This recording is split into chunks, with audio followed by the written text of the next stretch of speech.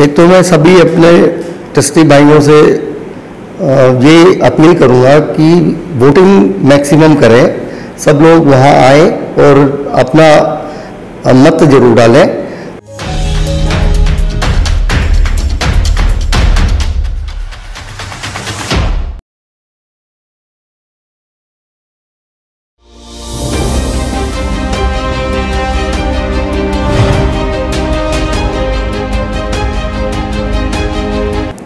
नमस्कार, मैं पल्लवी, आप देख रहे हैं एम एम आवाज़। स्वागत है हमारे खास कार्यक्रम समाज अग्रणी में। श्री अग्रसेन इंटरनेशनल हॉस्पिटल 2022 के चुनाव में आज हमारे साथ कुछ आज हमारे साथ मौजूद हैं एक ऐसी शख्सियत जिन्होंने हॉस्पिटल की नींव रखने में महत्वपूर्ण भूमिका निभाई है। हम बात कर रहे हैं सुरेश अग्रवाल जी की, जिन्होंने कह सकते हैं कि एक तरह से हॉस्पिटल पे अपना सब कुछ न्यौछावर कर दिया। और दिन रात हॉस्पिटल के लिए सेवा भी प्रदान की है। तो आइए उनसे बात करते हैं और उनके विचार जानते हैं। सर सबसे पहले तो बहुत बहुत स्वागत है हमारे चैनल में आपका। धन्यवाद। सर मैं आपसे जानना चाहूँगी कि आप हमारे दर्शकों को सबसे पहले अपने बारे में बताएँ। मैं सुरेश अग्रवाल श्री अग्रसेन इंटरनेशनल हॉस्पिटल का फाउंडर 12 साल तक मैं जनरल सेक्रेटरी रहा हूँ। उसके बाद चीफ एडवाइज़र की पोस्ट से मुझे नवाजा गया। और अभी करंट में मैं कोषाध्यक्ष हूँ और हॉस्पिटल का प्रेरणा स्रोत भी हूँ। आपने अपने परिचय में बताया कि आप हॉस्पिटल से कई सालों से जुड़े हुए हैं। तो मैं जानना चाहूँगी कि पहले जब चुनाव होते थे तो ये अलग अलग टीमें चुनाव लड़ती थी। लेकिन इस चुनाव में खास बात यह है कि घनश्याम दास गुप्ता जावेरी जी और श्यामलाल गर्ग समर्पित टीम अब एक साथ आ गई है। तो मैं जानना चाहूँगी कि आप उसके बारे में हमें बताएँ, क्या विचार आप रखते हैं? देखिए, वैसे तो ये सामाजिक संस्था है और सामाजिक संस्थाओं में कभी भी इलेक्शन अवॉइड हो तो ज़्यादा अच्छा है। आपस में मिलजुल के टीम बने तो उसका एक अलग महत्व रहता है और प्रोग्रेस भी ज़्यादा होती है।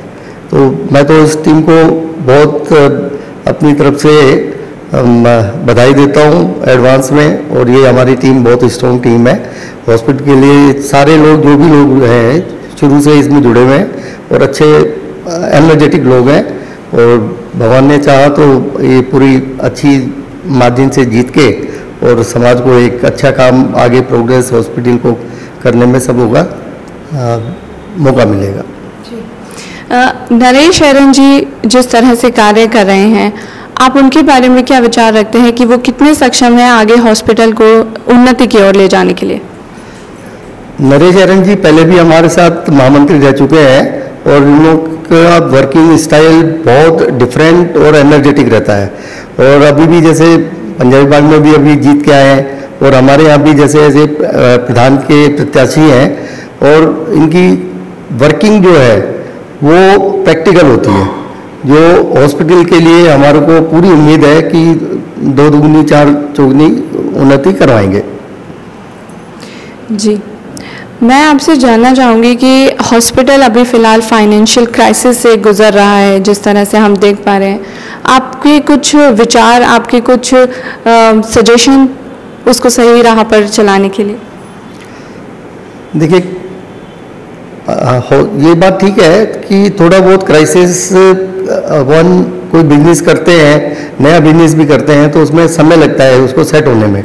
ऐसे ही हमारे हॉस्पिटल में जब स्टार्ट हुआ है, अभी तीन साल से ही हमने इसमें काम करना चालू किया है तो स्टार्टिंग में प्रॉब्लम तो आती है और ऐसा नहीं है कि अब डे टू डे प्रोग्रेस हो भी रही है और बीच बीच में कोरोना के टाइम पे भी काफ़ी हमारे हॉस्पिटल ने पेशेंट्स के ऊपर और काफ़ी वर्किंग की है और उसमें प्रॉफिटेबिलिटी भी काफ़ी जनरेट हुई है, लेकिन इस टाइम कोशिश यही है कि इसमें और नई कई एक, एक दो डिपार्टमेंट्स हम चालू करें जो प्रॉफिटेबल है। और ज़्यादातर तो क्या है इसमें सामाजिक संस्था होने की वजह से ट्रस्टियों के लिए फैसिलिटीज़ हैं और गरीब लोगों के लिए C S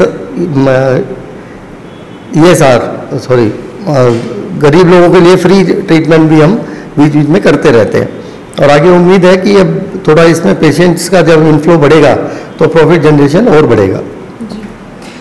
मेरा आखिरी सवाल आपसे यही होगा कि सत्तावन ट्रस्टी जो हैं हॉस्पिटल में जो अपना मतदान 22 आने वाली 22 तारीख को करने वाले हैं उनसे आप क्या अपील करेंगे कि किस तरह से मतदान होना चाहिए? एक तो मैं सभी अपने ट्रस्टी भाइयों से ये अपील करूँगा कि वोटिंग मैक्सिमम करें। सब लोग वहाँ आए और अपना मत ज़रूर डालें। और साथ में ये जो हमारे 24 आदमियों की टीम है, जो घनश्याम जी और श्यामलाल जी की जो टीम बनी हुई है, ये पूरी एनर्जेटिक और एक्सपीरियंस है इन लोगों को हॉस्पिटल चलाने का। तो मेरा सबों से ये निवेदन है कि 24 की 24 कैंडिडेटों को आप जिता के लेके आए। तो आपका, ये आपका ही जीत है। तो ये मेरी सबों से निवेदन है। बहुत बहुत शुक्रिया हमसे बातचीत करने के लिए और अपने विचार हमारे साथ व्यक्त करने के लिए। तो ये थे हमारे साथ सुरेश अग्रवाल जी, जो कि हॉस्पिटल के एक महत्वपूर्ण ट्रस्टी हैं और जिन्होंने हमारे से अपनी बात शेयर की और ट्रस्टियों से ये अपील भी की कि जितना हो सके आगे बढ़ चढ़कर वोट करें, ताकि हॉस्पिटल आगे की कार्य प्रगति पर जा सके। फ़िलहाल के लिए इतना ही, आप बने रहिए एम आवास के साथ।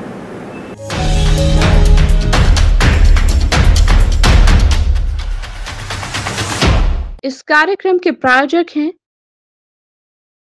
Bharat test house eternal solution Aramya jewellers.